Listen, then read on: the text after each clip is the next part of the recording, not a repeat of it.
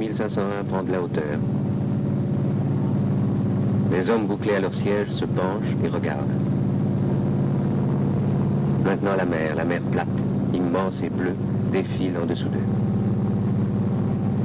Ces paras dont l'équipement n'est pas celui des autres sont des marins en cours d'entraînement.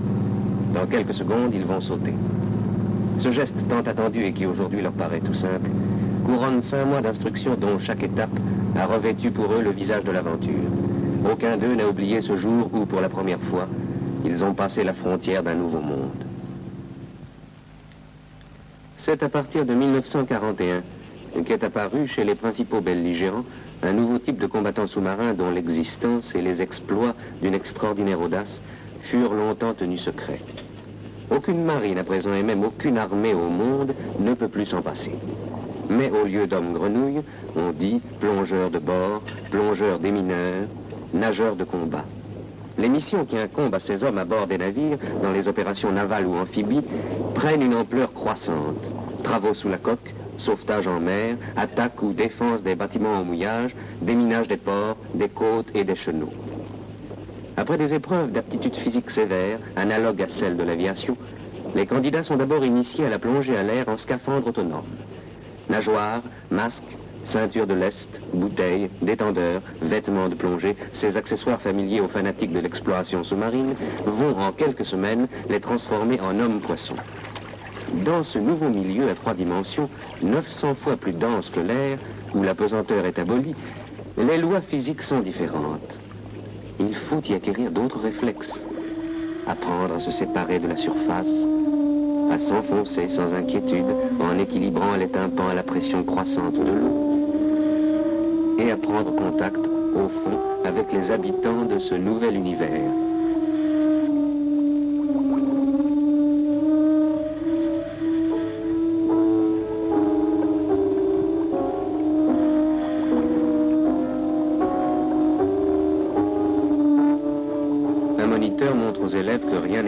si l'on perd momentanément sa lunette ou son embout, à condition de garder son sang-froid.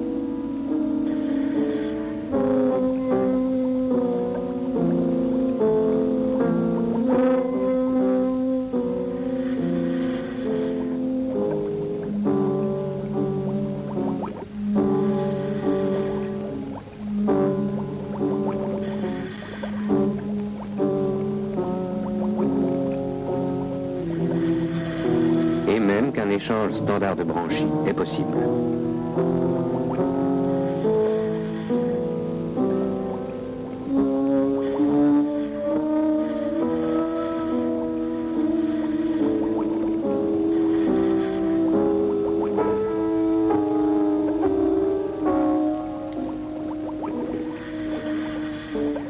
Puis viennent les travaux pratiques sous la coque. Un plongeur doit être capable, dans l'eau, de se servir d'un poignard, d'un marteau, d'une scie, d'une lime, d'un chalumeau. Sans lui, la simple visite d'une vanne, le nettoyage d'une crépine exigerait un passage au bassin. Une haussière engagée dans l'hélice paralyserait le navire.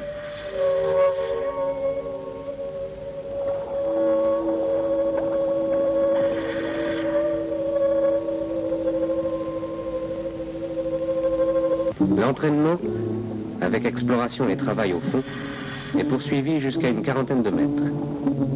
Période passionnante parce qu'elle révèle aux plongeurs la beauté des paysages sous-marins et les conduit parfois, à travers les siècles, sur des épaves inconnues.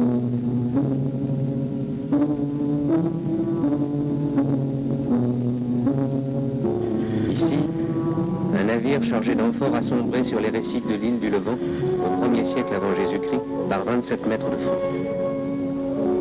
On a trouvé dans les amphores des vertèbres, des écailles, des arêtes de poissons et des coquilles d'amandes encore intactes après 2000 ans.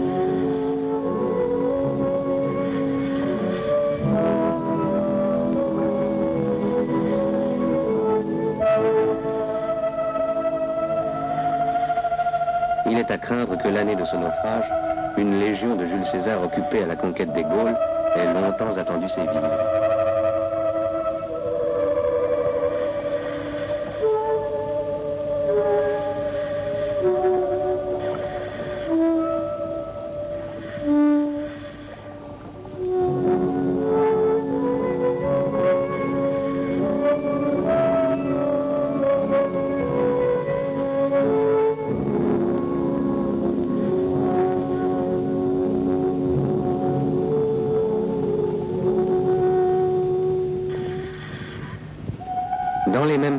Sur la côte sud de l'île, les plongeurs s'enfoncent avec des torches. Un vaisseau de Catherine II, le Victoria Roussia, commandé par le capitaine Bouskov, s'est fracassé sur les rochers un jour de tempête le 3 novembre 1780. L'eau est sombre à 36 mètres. L'épave a glissé le long de la falaise et s'est enlisée. Les mâts, les superstructures se sont effondrées. Seuls les canons, par batterie de trois, recouverts d'une fourrure de faune et de flore, émergent du sable.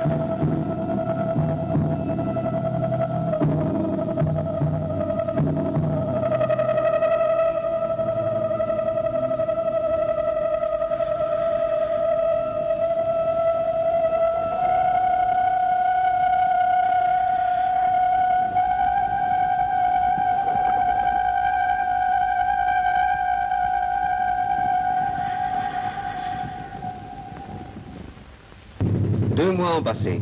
Les élèves certifiés plongeurs de bord embarquent sur les bâtiments où ils veillent à la sécurité des œuvres vives. À bord des porte-avions, avec ou sans appareil respiratoire, ils assurent le sauvetage rapide des équipages accidentés.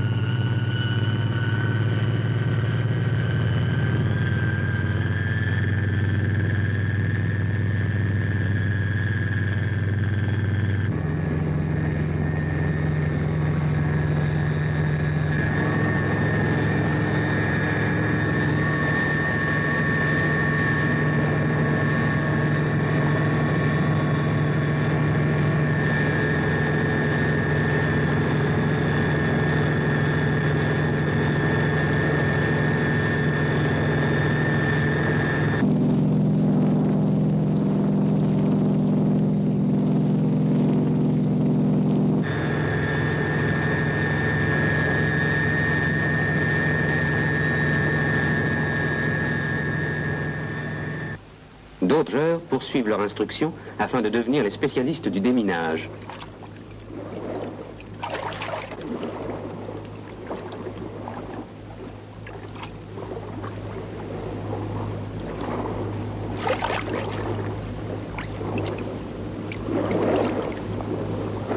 Attention plongeur paré. Avant 800 tours. C'est à ces hommes, en liaison avec les flottilles de dragueurs, qu'incombera la lourde, dangereuse mission du repérage et de la destruction des mines le long des côtes, dans les chenaux et dans les ports, la surveillance des coques contre le sabotage. Ce traîneau remorqué augmente considérablement le rayon d'action du plongeur des mineurs, seul capable en définitive d'aller voir au fond, d'identifier, de détruire les engins ennemis.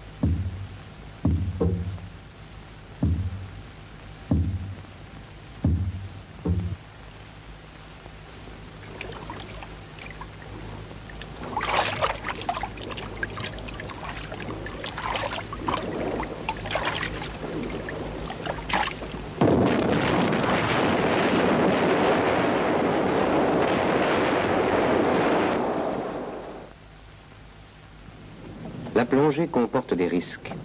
Elle est soumise à des règles de sécurité qu'il est essentiel d'appliquer strictement. Son accident typique est l'accident à la décompression, dont la cause est restée longtemps inexpliquée. L'homme en plongée, respirant à une pression supérieure à la pression atmosphérique, dissout progressivement l'azote de l'air dans son organisme. Si le plongeur remonte sans respecter les paliers prescrits, des bulles prennent naissance dans le sang, comme dans une bouteille de soda brusquement débouchée. Elle déclenche des troubles pouvant entraîner la paralysie ou la mort. Le seul traitement, qui prend souvent des allures de miracle, est la recompression immédiate. Tout chantier de plongée doit disposer sur place d'un caisson portatif où l'accidenté, maintenu en atmosphère comprimée, peut être transporté comme dans une ambulance jusqu'à la chambre thérapeutique la plus proche. Nous sommes ici dans la chambre du groupe d'études et de recherche sous-marine à Toulon, le GERS. Le GERS n'est pas seulement un centre de traitement qui a sauvé la vie à de nombreux plongeurs. Créé en 1945, berceau du scaphandre autonome et du bathyscaphe, il est dans le monde l'un des grands leaders de la plongée. Dans ce caisson expérimental, on étudie à sec, à une pression correspondant à 40 mètres d'eau, le comportement physiologique d'un sujet sous diverses conditions de travail. Ça marche?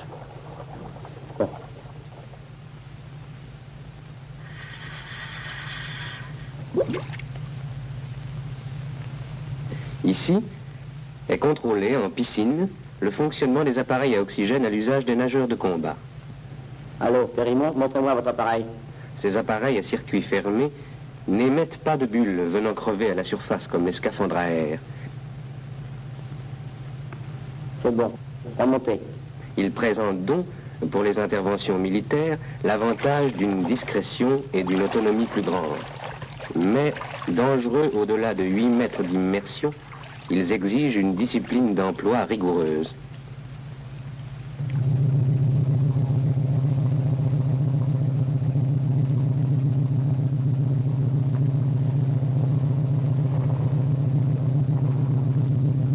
Les plongeurs s'encordent deux à deux comme des alpinistes.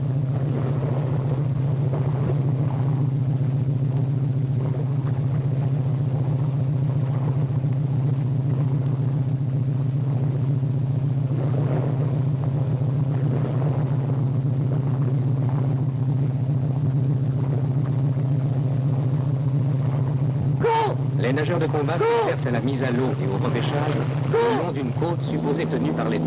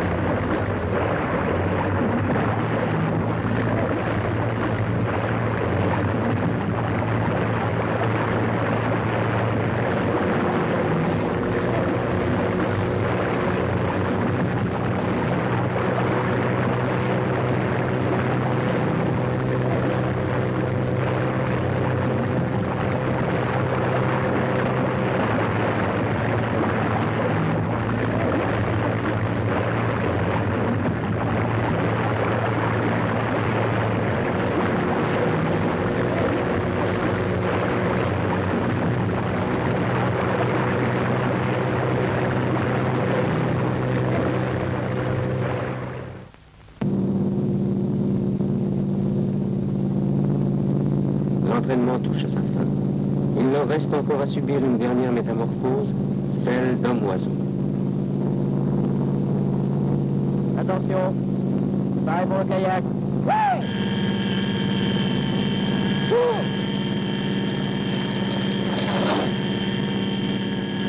Cours Cours Cours Cours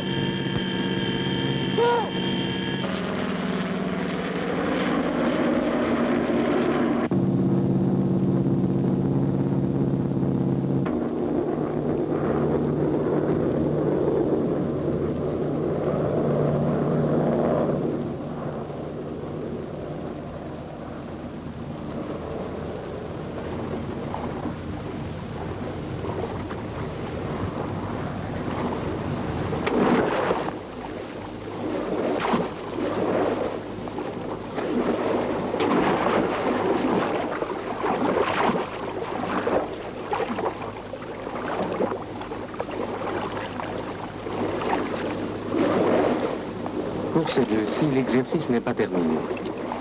Ils ont rendez-vous sous la mer.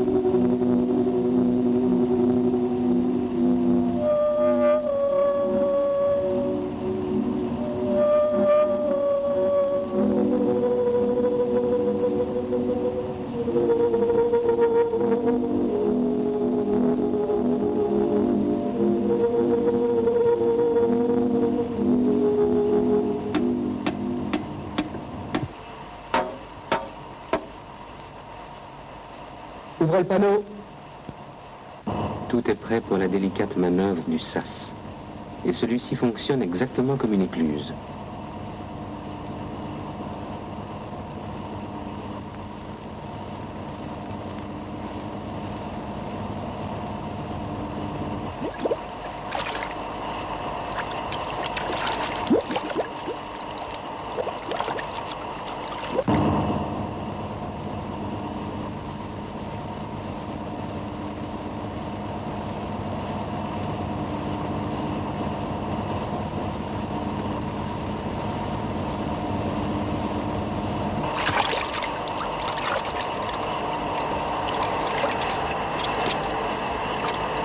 Attention, kiosque. Nous sommes rentrés. Assécher le sas. Assécher le sas. Ouvrez le panneau.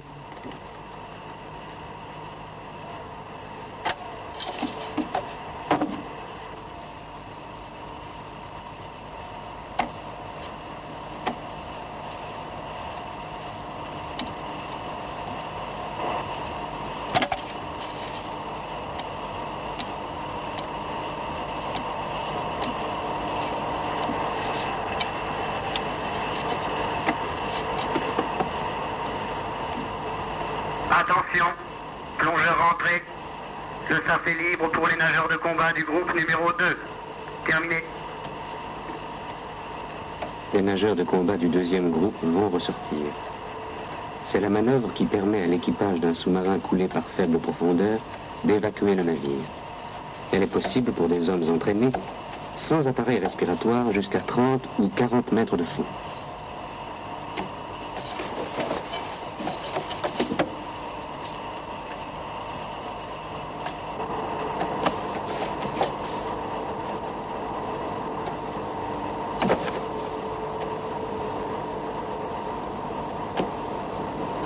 premier panneau.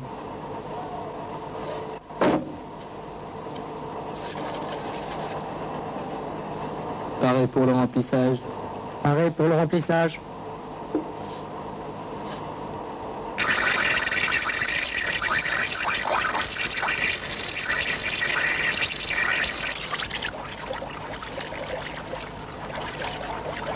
À l'intérieur du sas, l'eau monte, dépasse le parquet monte toujours, comprimant l'air à la partie haute.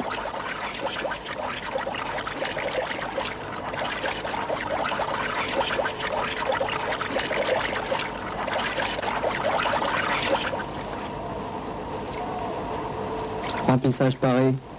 Ouvrez le panneau supérieur. La même pression règne maintenant sur les deux faces du panneau. Rien ne s'oppose à l'ouverture, la voie est libre. Commençons les sorties.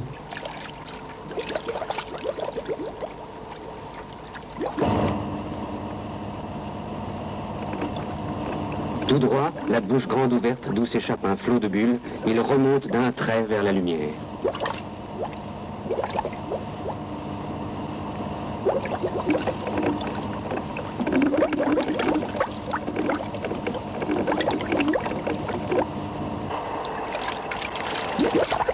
Je vais sortir, opération terminée.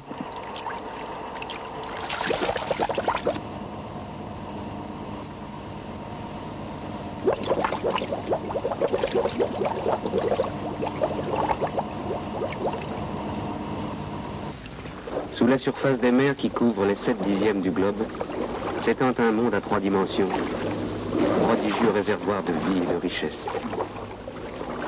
Plongeurs, sous-marins, bathyscaphes commencent à peine à le pénétrer, à le connaître, à le conquérir. Et le ciel est trop chargé de foudre pour que la mer profonde, avec le flot d'espoir qu'elle suscite, n'apparaisse maintenant aussi comme un ultime champ d'action et le dernier refuge.